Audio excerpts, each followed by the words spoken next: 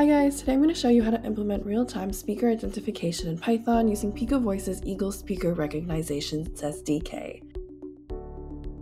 First, ensure Python is installed, and sign up for the free Picovoice console and retrieve your access key.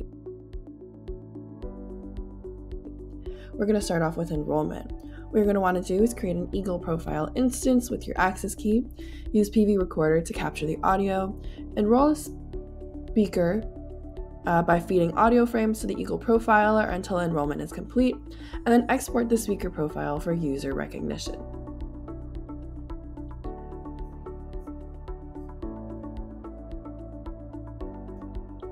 In order to use this, you're going to want to install the necessary packages, PV Eagle as well as PV Recorder, and then just record.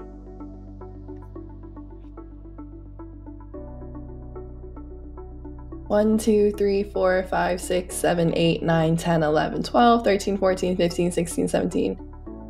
All right, and now that that's done, we're gonna start with the code for recognition. So within this code, you're gonna wanna create an Eagle instance with your access key and speaker profile, then use PV Recorder again to capture the audio, and pass the audio frames to Eagle for real-time speaker recognition.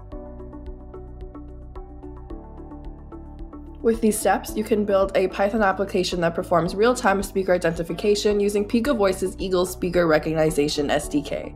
This approach ensures efficient on-device processing, enhancing user experience by reducing latency. So let's try it out.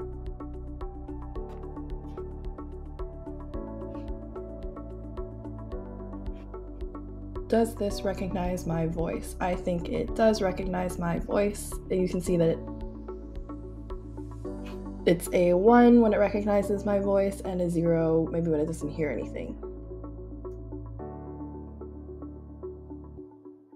And there you have it. Visit Picovoice AI for more tutorials and start building today.